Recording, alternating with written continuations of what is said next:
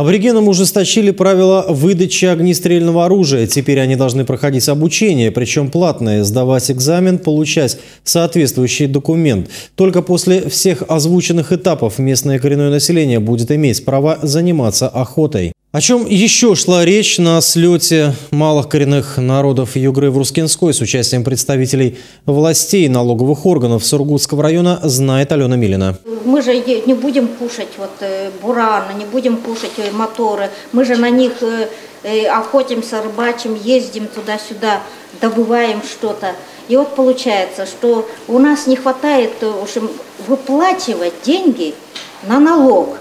Главный вопрос совещания – налогообложение коренных малочисленных народов Севера. Аборигены – граждане Российской Федерации. И как граждане они обязаны платить налоги. Только ханты не считают это нужным, ссылаясь на свою некомпетентность. У меня есть один буран. А как при, это, тот раз письмо пришло. У меня два бурана. Откуда лишнего номер нашел? Для этого вам нужно подойти нам важно знать, что у вас именно один буран. Для этого надо подойти к сотруднику инспекции и сверить.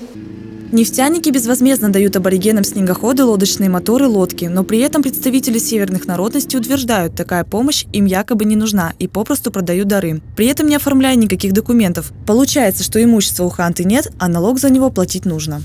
Кому не надо, не надо выдавать моторные лодки и там моторы.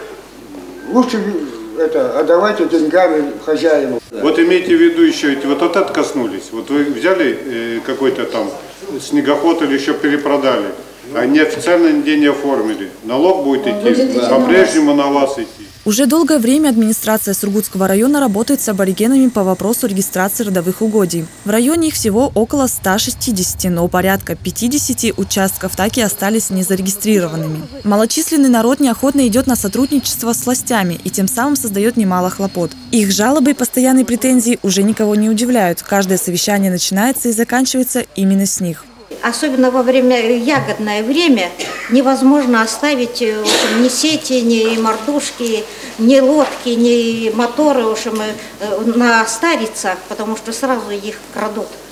Налоги аборигены не платят, еще и потому, что им кажется, что мал размер компенсации. Таким образом, коренные жители автоматически попадают в список злостных неплательщиков. Работа администрации налоговой инспекции с коренными жителями ведется постоянно. Но сколько еще времени и усилий понадобится для того, чтобы приучить малочисленный народ к реалиям современной жизни, сказать сложно.